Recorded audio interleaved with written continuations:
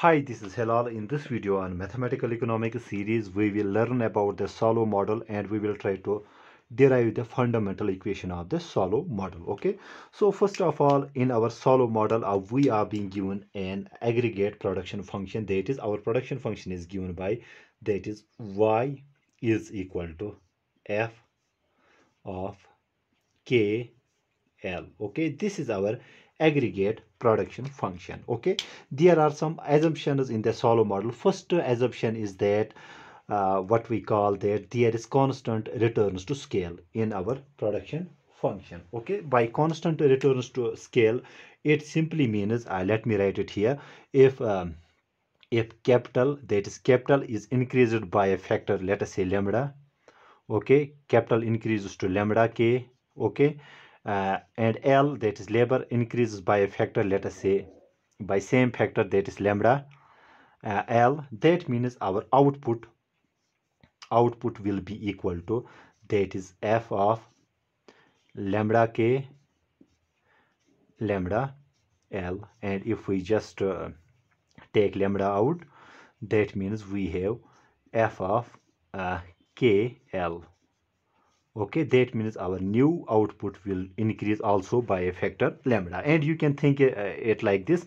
If capital uh, increases uh, let us say capital is doubled that means if lambda is doubled so if we have k is increased it becomes 2k okay? Our labor is also doubled it becomes 2l then what does this mean? This simply means here if we can see y is equal to f of 2k uh, and 2l and if we take uh, this uh, 2 common so we have 2 f of k l. That means our new output will also get doubled so we have uh, twice f of kl okay? So this is one of the assumption of the Solow model that we have constant returns to scale. Okay? Uh, so let me rub this out. It will be uh, more of the mathematical. Okay so another uh, a very important uh, assumption in the Solow model is that uh, people save a constant proportion of their income. That means uh, by constant proportion, that means let us denote S by savings. So savings is a uh, constant proportion of income. So S is equal to S Y. Okay. So we have a constant savings rate. This is second assumption another assumption is that we uh, uh, sorry that labor supply grows at exogenously given growth rate. Okay so we have exogenously given growth rate of the labor supply and we denote it by n okay? So it is given to us as exogenous thing here okay? Also we are being told that um, in the Solow model, the assumption, another assumption is that there is no foreign trade. We have a closed economy.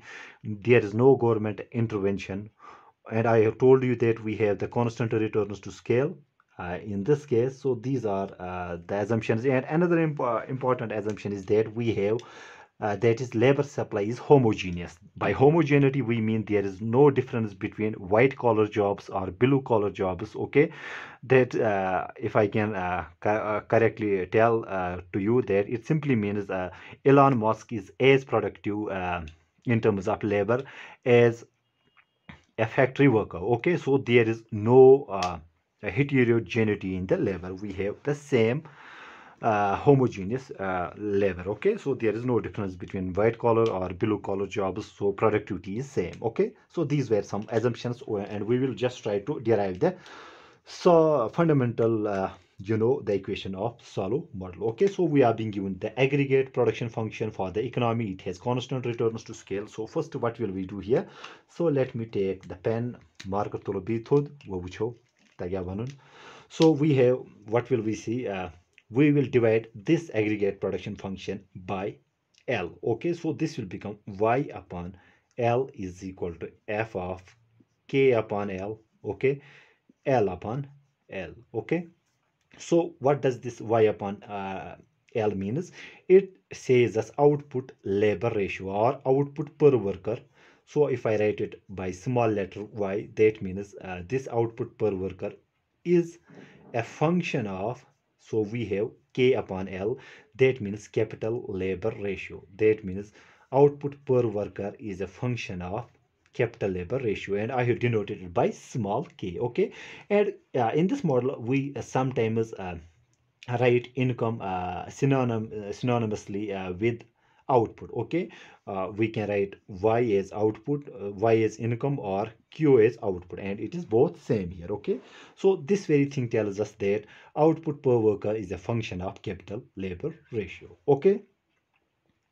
Now what we need to do let's write it uh, again here. So small k is our capital labor ratio so i will write k upon l. So i am just writing this very uh, uh relationship uh, here what will uh, we do we just uh, will we will take the log of this very thing okay? That means log of small k is equal to log of capital k minus log of capital l okay?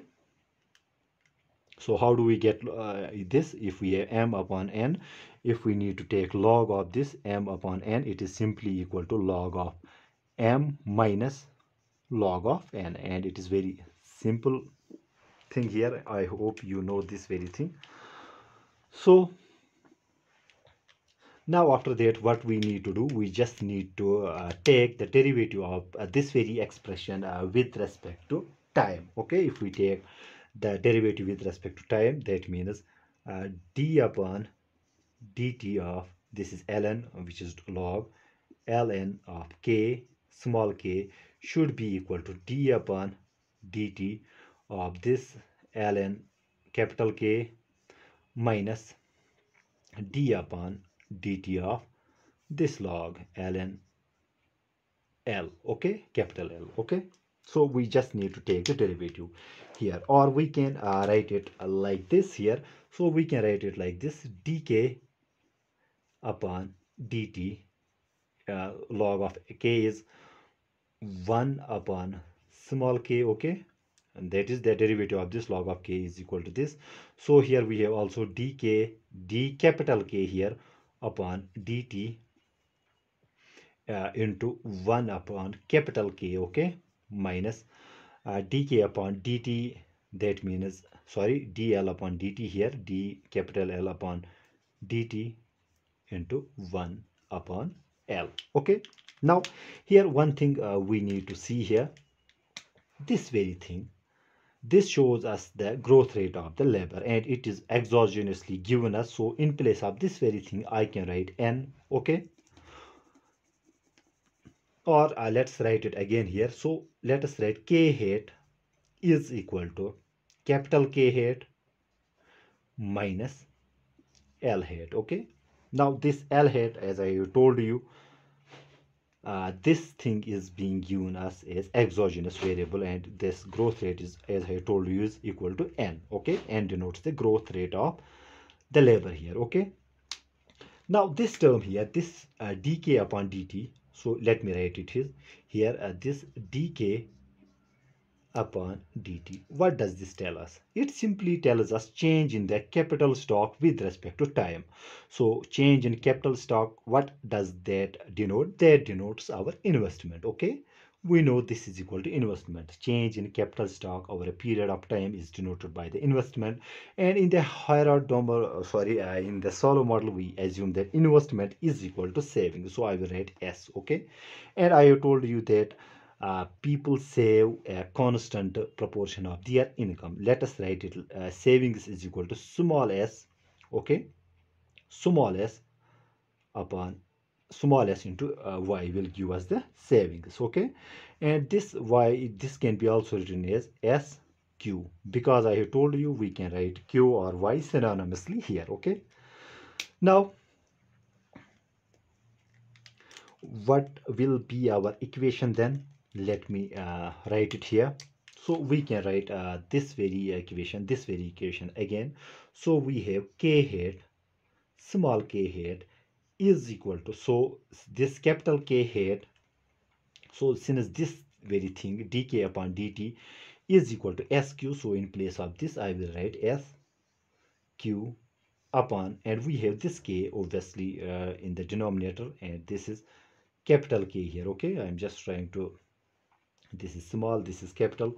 So let me write it uh, bold and bigger to differentiate it uh, with this uh, small k okay? Minus this is exogenously given growth rate of labor so we will denote it by n okay? Everything is correct up to uh, this now. And we can do another thing if we denote divide this very uh, term uh, by l uh, to numerator and denominator. So this will become let me divide it here. So this will become s q upon l. I am just dividing numerator and denominator by l. So we have k upon l. This is capital a eh? minus n. And this can be written as our k hat small k actually it is here is equal to s. This is a marginal propensity to save q upon l that means output labor ratio or output per worker and we will denote it by small q okay? So let me write it here. So q upon k output per worker uh, we will denote it by small q okay? Upon this is capital labor ratio denoted by small k okay? Minus n okay? Or we can write it like this uh, s small s f of small k okay because q is equal to this very f of k as we have seen uh, earlier here. Upon this small k again minus n. This is our fundamental equation of Solow model okay and here we get this k t uh, sorry this k hat that is the growth rate of the capital labor ratio we got it in terms of capital labor ratio itself because we have this k on this um, side also on RHS side okay? So I hope everything is fine up to this now. Now at equilibrium the equilibrium value of uh, equilibrium value of uh, k will be this k hat uh, will be that means at equilibrium our k hat should be equal to I am not able to differentiate between uh, small cap k so let me write it like this. This k hat should be equal to 0 okay? So this very thing should be equal to 0 if this very thing is equal to 0 what what we are being left? So we are mm, asking about the equilibrium le level of this k. So that means uh, that simply mean, means s f k star small k star okay? K star uh, denotes the equilibrium value okay? So equilibrium level of uh, capital labor ratio upon this k star okay should be equal to n okay?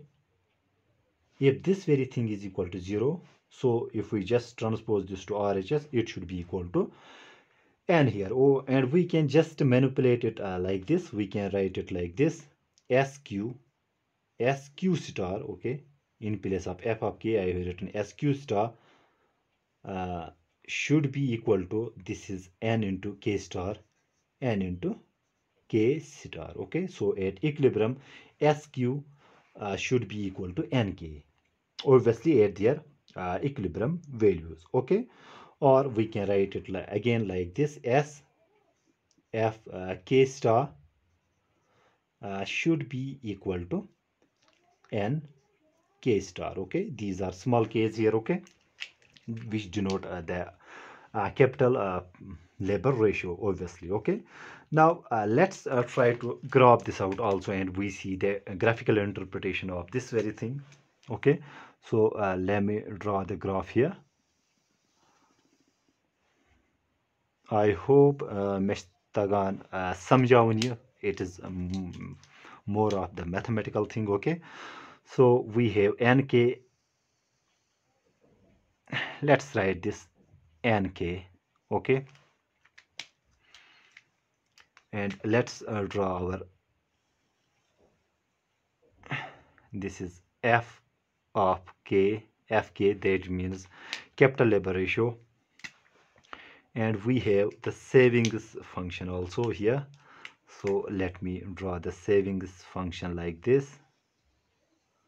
So this is our s uh, fk okay?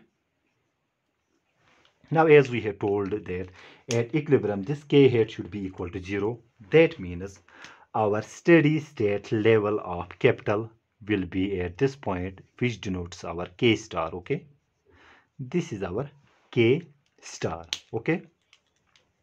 And obviously we have k that is capital labor ratio on the what we call this horizontal axis or x-axis and we have output per worker on vertical axis okay? Now uh, at any point uh, to the left of k so at any point to the left of k star okay at any point uh, to the left of k star uh, so let me write it here. At any point any point uh, left to left to k star. Okay our k is obviously less than k star okay k will be less than k star. Okay any number here if we have k here this this k is less than this uh, steady state k star okay? This means uh, our f of k small k should be greater than should be greater than if we just uh, uh, you know take this uh, to the RHS so this will become nk or n upon s k okay? So uh, any point which is left to uh, left to this uh, thing at that point we have this f of k and here we can see this f of k should be greater than this n upon s k okay this implies we can also write it like this. S f k if we just take this k uh, here again these are small k's uh, obviously should be greater than n okay? And what does this very thing tells us? It simply this s denotes this very uh, s denotes our savings okay? This denotes the savings. So i will write here this is savings this is savings and this denotes output uh, labor ratio or i will write uh, uh, sorry output uh, per worker sfk so savings into uh, output per worker upon capital labor ratio capital labor ratio. If it is greater than n okay this means this is greater than n this very thing. I have just try to uh, interpret uh, these very things. So any point to the left of this k star this very thing holds up okay? And from this equation okay from in this uh, from sorry from this equation we can see it simply means when our k is less than k star okay? This k hat k hat uh, it is also small okay? This k hat increases okay? That means when k is less than k star this k star should uh, k hat should increase so that we reach to this back to this very steady state level of uh, capital. This k okay? And similarly whenever uh, let me write here whenever uh, k is greater than k star okay? When is when is k greater than k star? When we are on this side okay? When k is greater than k, k star similarly here we can see if k is greater than k star this simply means uh, uh, our s fk s of k upon k is less than the population growth rate. So this thing savings into output per worker upon capital labor ratio is less than the growth rate of population. And whenever this very thing happens whenever this very thing happens that means our k hat is falling okay? So k hat is falling and uh, obviously uh, then the stable equilibrium will be only that very point where let me write here when our k is equal to k star okay or when our output q is equal to q star okay? So this denotes here q star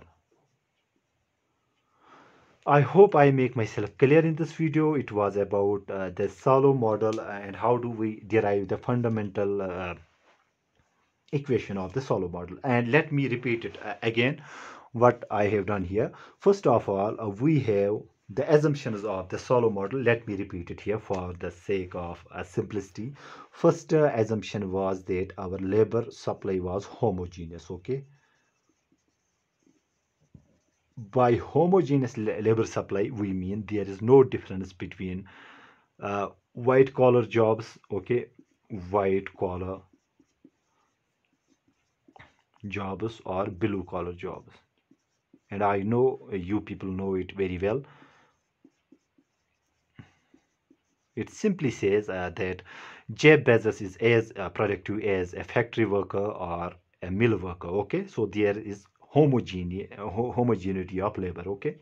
This is one the one of the assumption of the Solow model. Another assumption was that labor supply or labor or population labor grows because L and N are here synonymous labor supply labor and population growth rate grows uh, at at an exogenously exogenously given given growth rate okay? By n okay?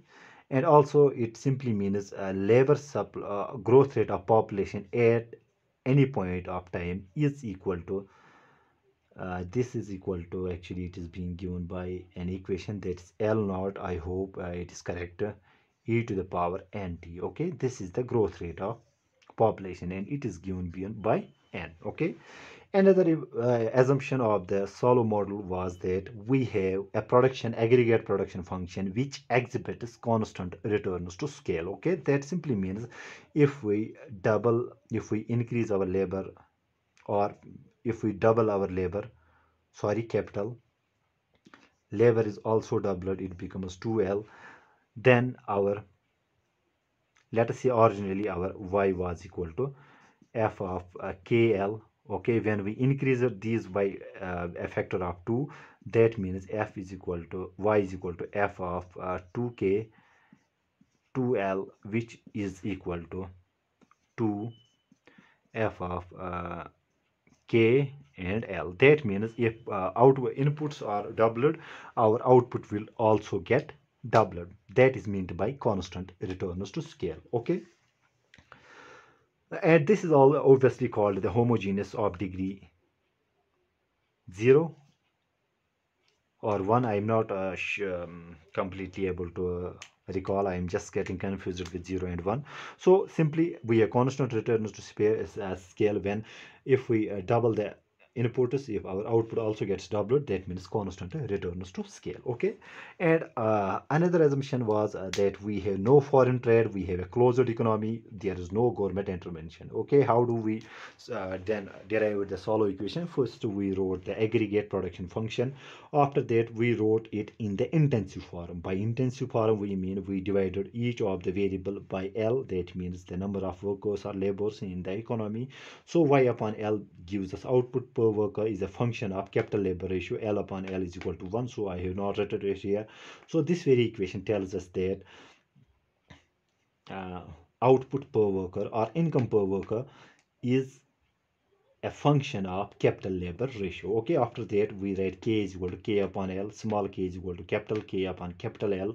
After that we take the log on both sides just to uh, differentiate with respect to time and we got this very relationship between them. Okay after that since uh, this very thing dk upon dt tells us the change in the capital stock over a time and change in capital stock is nothing but investment and investment in the Solow model is equal to savings and we have assumed that people uh, save as i I forgot to write here assumption uh, another that uh, we are being told that there is a savings is equal to marginal propensity to save into y that means people save a fixed proportion of their income okay?